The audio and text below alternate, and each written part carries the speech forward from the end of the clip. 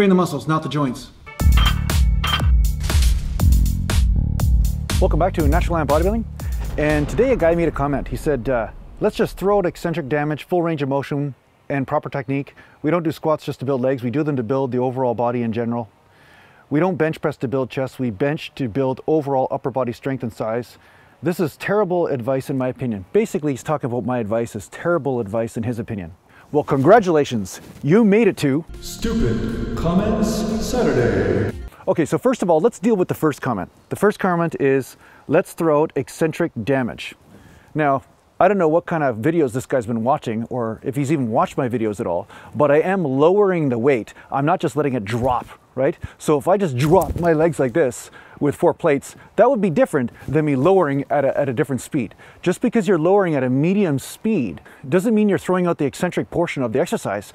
As long as you have that exercise under control, the muscles are being eccentrically damaged and there will be results from it. And my legs are basically proof of that. Bam, bam, bam.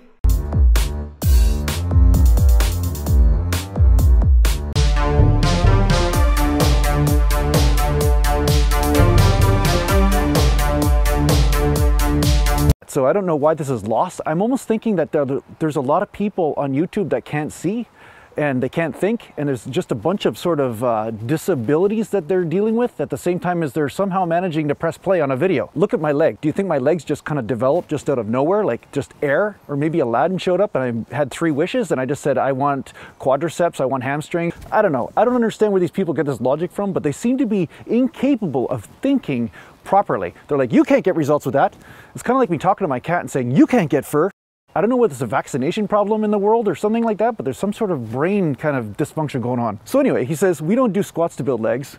We do them to build the overall body and general strength. Well, what part of building the overall body don't you get from the way I'm doing it? Because the way I'm doing it, if you look at this picture right here, looks like I'm building my overall body quite well, thanks. I mean, I can do all the strength stuff that you're talking about. I have flexibility. And at the same time, I was one of the fastest skaters on the ice, even though I didn't even know how to skate when I first started skating. So uh, I had sports performance capability. So the fact is you're saying that I'm not actually building the overall body, that is a false sort of statement. So please watch more than one video, or at least 10 seconds of one video. Watch more than that, and then maybe you'll actually understand how stupid your statement is.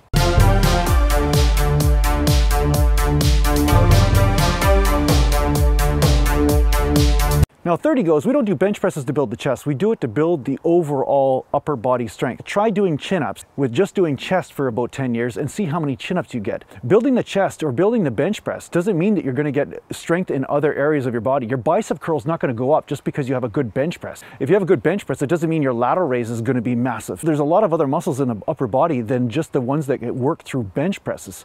So you're saying that we don't do any of these exercises except for to grow the entire body. Well, then if that's the case, then throw out your chest training, throw out your back training, and just do Olympic lifts. Just do the snatch and the power clean. Just do that because you're saying that you don't want to work individual muscle groups.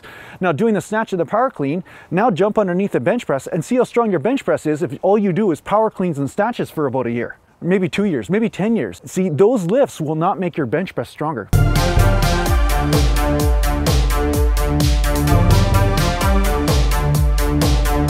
Like I had guys in, in elementary school when I could bench press 105 pounds when I was 80 pounds. And I had this kid come up to me and say, well, if you could bench press 105 pounds, that means you should be able to lift 105 pounds over your head. Well, anybody that has any sort of intelligence will tell you that lifting over your head works different muscles than the muscles that is pushing forward. You're not really working the chest the same way. You're not working the front delts the same way. And you're not working all the stabilizers in the spine when you're bench pressing as opposed to when you're lifting overhead. So to say that you're doing bench presses to, to work the overall body is a bullshit statement because the fact is, is you're not working the overall body from just doing bench press and you're not working the overall body from doing squats. You're working a percentage of the body and you are working a bunch of different muscles, but you're not working the whole body. So don't give me that bullshit that you're doing this sort of exercise or you're doing your bicep curls because you're trying to get an overall body workout. That's just stupid. Thanks. You're really entertaining me. Seriously, I was getting kind of bored with this whole YouTube thing until I see these comments. I didn't realize this kind of level of lack of intelligence and observation skills still existed in the world. I mean, this is middle age type shit. This is like from the from the dark ages. I mean, you you would have been an excellent person to execute witches and shit during the dark ages because they had the same type of misconceptions about things like throwing people in the water and if they could float that meant they were a witch. Now let's talk about proper technique because you made another comment about proper technique. So you're going to say proper technique from one person is the exact same technique for another person? Again, that's an oversimplified statement that only a person in kindergarten when it comes down to bodybuilding would make. Now, my brother and I have done extensive research on this and extensive experiments that lasted three frickin' decades. Have you done that? Probably not. Have you even lasted longer than a few months in the gym, let alone three decades? Probably not. But the fact is, my brother and I have done different experiments with different speeds of rep and also different ranges of motion. My brother even squatted ass to the grass for five years and he got perpetual knee pain from it, even though he's a naturopathic doctor and did all the treatments and therapies on the muscles around the area to make sure that his muscles and ligaments were all taken care of, worked on flexibility, worked on neural modulation techniques, all these things to make sure the nervous system and the entire body was firing properly. But yet, every single time he'd go do those deep squats, over a period of a week or two, inflammation of the knees would result. Now, I did the same experiment. Same thing happened with me. And did my muscular gains go up? No, they didn't. My muscular gains actually went down from doing too excessive of a range of motion. Now, when I was doing slow reps with all different exercises, I noticed also that I shrank. At first, I got a little bit sore from it. At first, I got a little bit of a pump. Then over time, I noticed that my strength started to go down and my overall pump and muscle mass gains started to go down. So these experiments happened so all that you see me doing in my training is the culmination of many experiments that have been done over three decades, and that's why I do it. It's because it obviously works, which is why I have a basement full of trophies and you probably don't. But dang, jing, that's right. I'm out of here. I hope this helped you understand that making oversimplified statements like this are kind of ignorant. And the fact is there's a lot of different factors that you have to take into account when talking about what proper training is or what eccentric ranges of motion are or what eccentric forces are. It's not this oversimplified thing that eccentric forces aren't just isometric. You don't have to lower a rep for five seconds in order to get eccentric results. Anything that is under control will still be classified as eccentric. So anyway, thanks for listening to my rant. Thanks a lot for watching. You need to get a hold of me, just go to naturalgallantbodybuilding.com. Thanks a lot to the Patreon supporters and take care from now.